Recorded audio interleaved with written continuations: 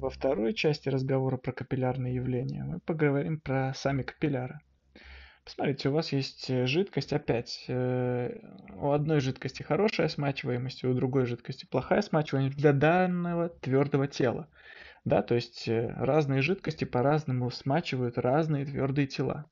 Есть там вода и дерево, или вода и жирная поверхность, но есть и масло, есть и скипидары, всякие разные жидкости, они по-разному будут все смачивать.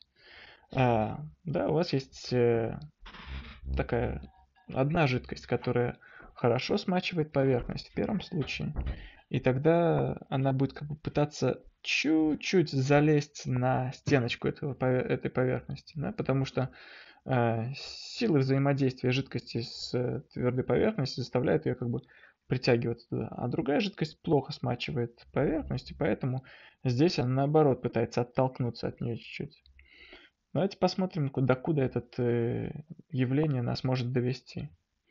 Представим себе теперь, что у нас э, вот этот сосуд продлен, и у нас есть э, какой-то жидкость, у нас жидкость, и в эту жидкость мы вставляем тонкий капилляр. Да? Тонкий капилляр это значит просто тонкая трубочка воды.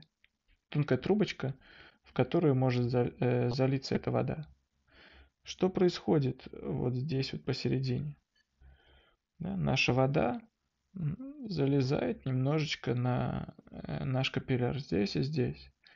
Но из-за того, что он очень тонкий, сила поверхностного натяжения посередине, она практически не удерживает воду, и поэтому вода начинает ползти по этому капилляру вверх, да, пока сила поверхностного натяжения не уравновесится силой гравитации. И получается, что у нас в капилляре вода поднимается, ну или жидкость, на уровень выше, чем он есть в, во, всей, э, во всем сосуде. Что происходит в случае с плохой смачиваемостью? У нас опять есть, у нас опять есть какой-то какая-то жидкость. Да, вот она. Она доходит до стенок сосуда. Вот наш сосуд. Мы вставляем в него капилляр. Значит, вот здесь капилляр стоит. Что произойдет в этом случае? Жидкость будет ползти по капилляру вниз. Да? Она будет ползти по капилляру вниз до какого-то уровня. И получится, что в этом капилляре жидкость занимает меньше места. Красиво нарисую теперь. Да, получается вот так она до сюда доходит. А в капилляре она занимает меньше места и опускается вниз. Да, потому что у нее плохая смачиваемость.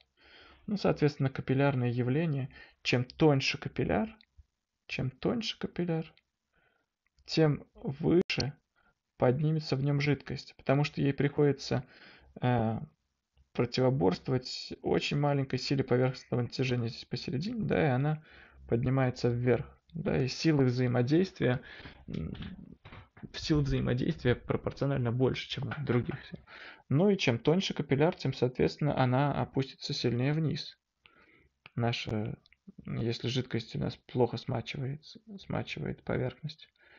Да? Ну, главная идея зависимости вот именно такая. Жидкость опускается сильнее вниз. Но вот что такое капиллярное явление.